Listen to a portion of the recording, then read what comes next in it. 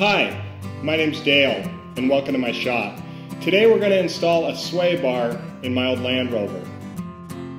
I think it's the most important thing you can do to make a Land Rover more drivable, especially on the street. So that's what we're going to do today on metaltipsandtricks.com, improve drivability of this Land Rover.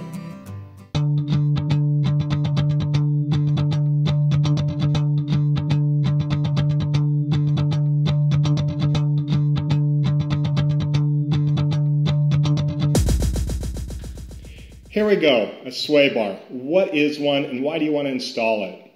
A sway bar makes a vehicle more stable. You know when you go around a corner and your car feels like it is tipping? That's what a sway bar helps prevent is that tipping feeling. And it does it by using a U-shaped piece of spring steel that is attached to your frame and then also attached two corners to your axle. And what it allows it to do, if one axle pushes up, the other one brings it up too to match it out. So if we're going across, let's say a speed bump at an angle, if we're going at an angle, here, well, we use this as our speed bump. This one hits, but this one gets pressed down, levels out, presses, and brings it back to level. And it makes the car more drivable. When you're going around a corner, there's more pressure on this outside. So what it does is it brings pressure on the inside wheel and helps, again, level the vehicle. And it's incredibly important, especially on a Land Rover, if you like to put a lot of stuff on your roof rack and make it top heavy, because when you go around corners, you definitely feel that. And a sway bar will help correct that. Now, one thing you need to realize that this is not an easy project the way I'm installing it.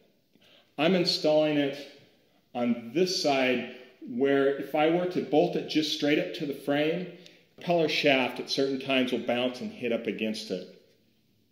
Originally, when I had this installed, I had it on the other side where the gas tank is now, and that's a quick installation. Let me show you some photographs of that.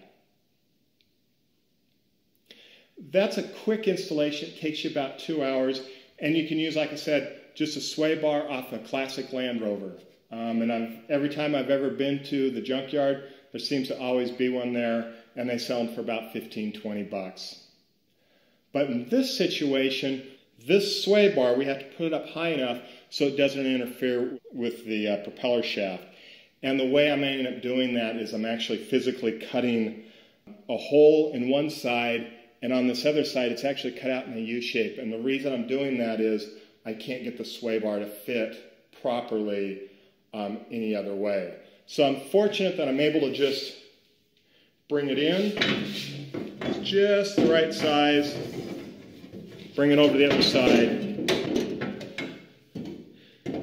And now we can start working on this side. I did some pre-cutting on this before I started this video just to make sure everything was going to work out okay. And it looks like it's going to be a really sound, stable installation.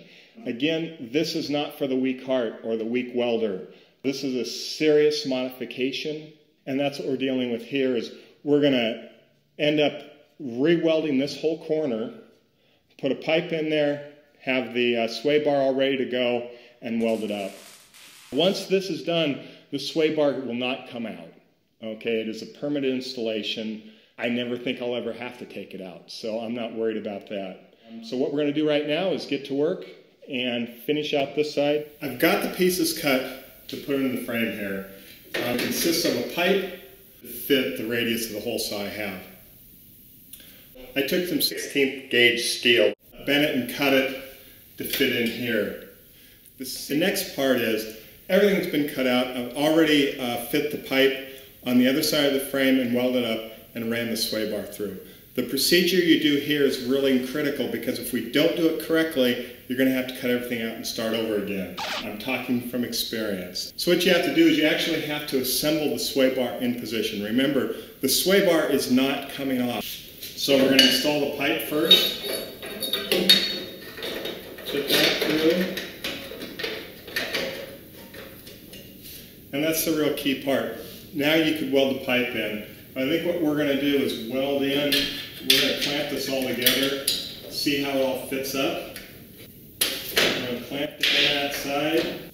So now we're ready to check and start tacking it into place. Uh, let me show you what I do there. I don't plan on this new part holding all the weight.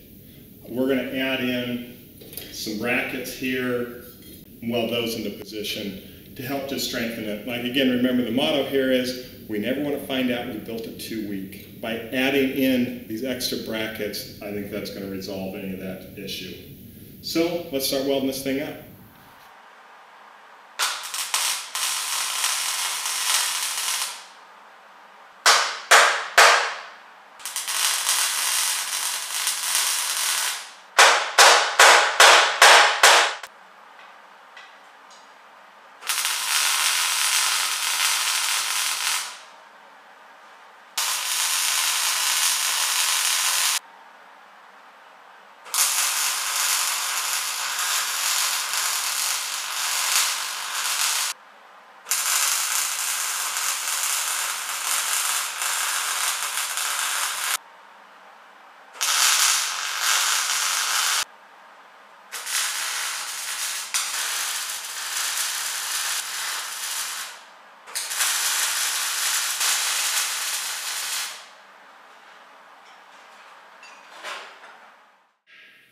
We now have the sway bar attached to the frame.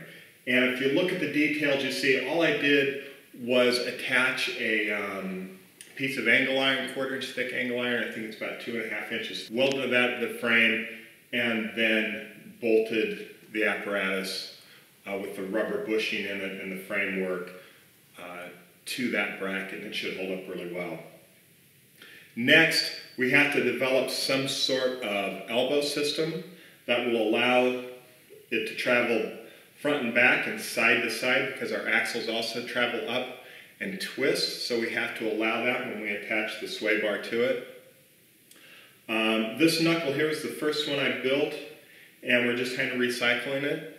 You can buy this piece down here with a male and female connection. So if you wanted to, you can just go with two of these turn them 90 degrees each other and you'll get the elbow action. The next is this bracket here was welded up out of uh, square tubing with a bracket mounted on it. That'll fit in there.